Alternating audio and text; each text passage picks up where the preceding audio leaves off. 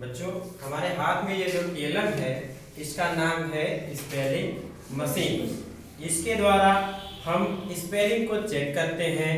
हमें जो भी स्पेलिंग याद है किसी भी वर्ड का, उसकी स्पेलिंग सही है या गलत, इस मशीन से के द्वारा इसको पता लगाया जा सकता है।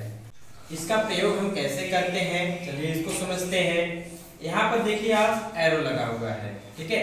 और ढेर सारे चित्र हैं। अब इसमें से किसी भी वर्ड का स्पेलिंग हमें जो याद है, उस स्पेलिंग सारे लेटर्स को हम घुमाएँगे।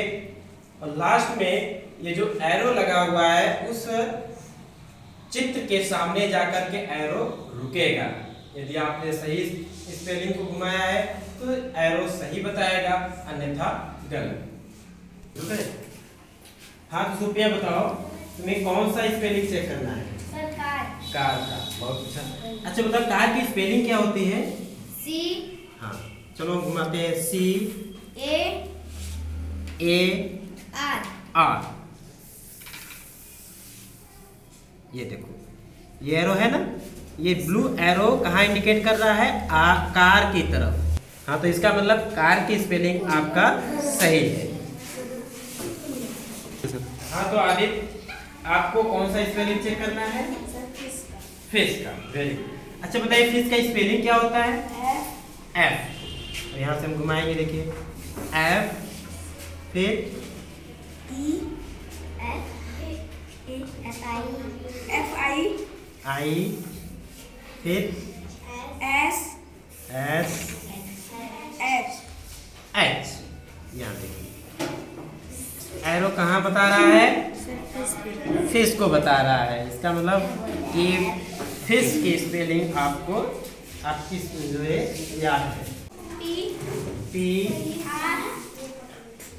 R O T arrow को देखिए कहाँ पहुँच रहा है?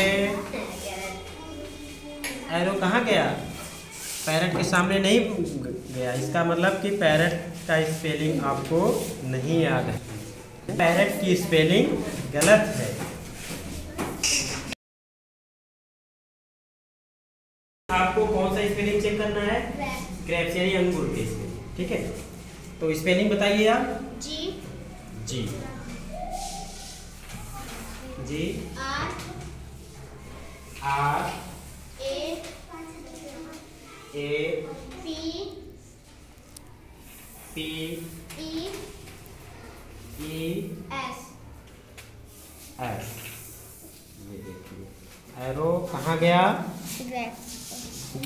एरो ग्रेप्स को बता रहा है। इसका मतलब ग्रेप्स की स्पेलिंग आपका सही। है तो विज्ञानी आपको कौन किस चित्र का स्पेलिंग चेक करना है? कैट का। तो कैट का स्पेलिंग क्या होता है? सी हाँ तो इसके लिए आप स्वयं घुमा इसको चेक कर सकते हैं ठीक है? चलिए सी घुमाइए घुमाइए सी सी ए ए ए ठीक। फिर टी टी को घुमाइए टी हाँ। ये देखिए। एरो कहाँ बता रहा है? कैट की तरफ़ बता रहा है ना इसका मतलब आपकी जो कैट की स्पेलिंग हो सही है।